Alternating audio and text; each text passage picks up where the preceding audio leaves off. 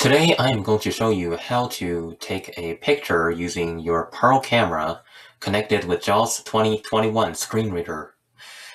The Pearl camera is a portable scanner from Freedom Scientific, now known as Vispero, and it is very easy to use. So without further ado, I guess let us start the lesson for today.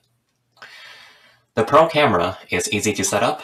I have it right here, and to set up the camera, you first press the tab or the button to lift it up.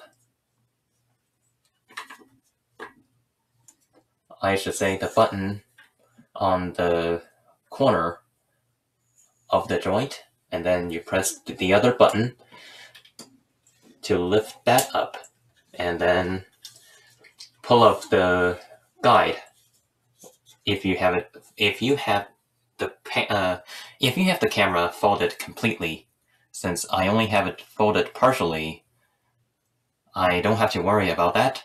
So now you are ready to scan a picture or a printed hard copy document. So now I'm going to pull a paper from my desk that I've been scattering around and let's start taking a picture with the pearl.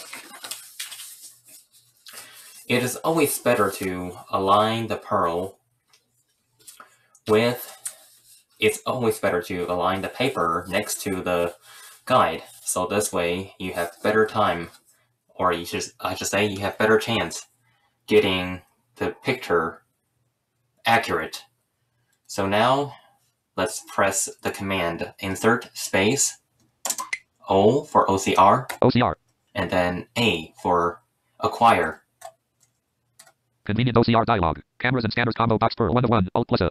Since Pearl is the only camera within the scanners list, I'm going to press enter. Camera OCR started. Meeting controls. Page is right side up. So that is how you scan a... Georgia Academy for the Blind finished. Blind. So this is my report card from Georgia Academy for the Blind. So you can see that it's very rapid. To adjust settings within your Pearl, you can do the following. So let's do the command insert space or caps lock space depend on your key map. And then O. OCR. And then A for acquire. Convenient OCR dialog. Pearl is the only camera, and then press tab. Motion detect multi-page recognition checkbox not checked. Alt plus M. In this checkbox, you can select to have Pearl scan multiple pages without you pressing the insert space O and A command. In this case, since I only have one piece of paper, I don't have to worry about that. Light combo box. On. 2 of 3. Alt plus L. So light is on by default, but it is recommended to set it to automatic because it is easier as a completely blind person. You know, it's kind of hard to tell whether a place is lit up or not, and having Pearl detected is kind of wise. So I'm gonna have it set to automatic. Off 3 of 3. On. 2 of automatic 1 of 3.